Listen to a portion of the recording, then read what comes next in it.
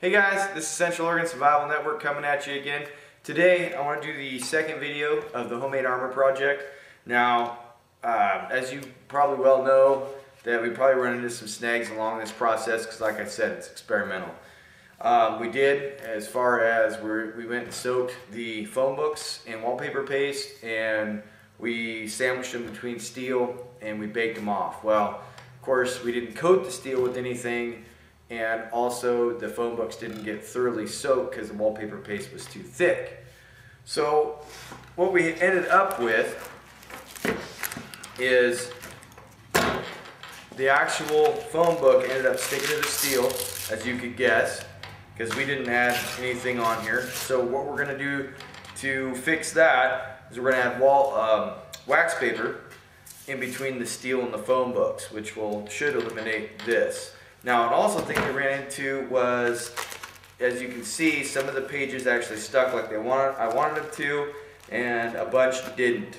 So what I was looking at is the wallpaper paste I believe is too thick. So what I did is I've added quite a bit of water. I'm soaking two more phone books, and we're going to try it again.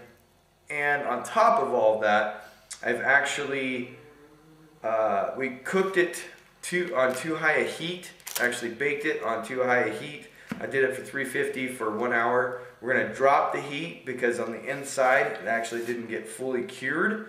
So what we're gonna do is we're gonna drop the heat, move it to about a two hour bake process and see what happens. I know you're probably thinking, well, you know, why are you uh, baking the phone books? Why don't you just throw them in there and give it a shot without actually trying to harden the phone books? Which, you know, I agree with. We might even get to that process where we just scrap the whole wallpaper paste and baking it. But it is an experiment, you know, if we get it to work and it becomes more effective than just using a, regular phone book, then we're going to use this process. So stay tuned and look for video three. That should, uh, will show you the end result of the next our next trial of baking the phone books. So stay tuned, and if you have some ideas of stuff that we could use instead of wallpaper paste, uh, some sort of mixture that we could soak them in and then bake them off, let me know. Or, you know, if you don't think, hey, just throw them in there, give it a shot, also comment us. So anyway, thank you for your subscriptions and watching our videos. I really appreciate it, and I'll catch you on the flip side.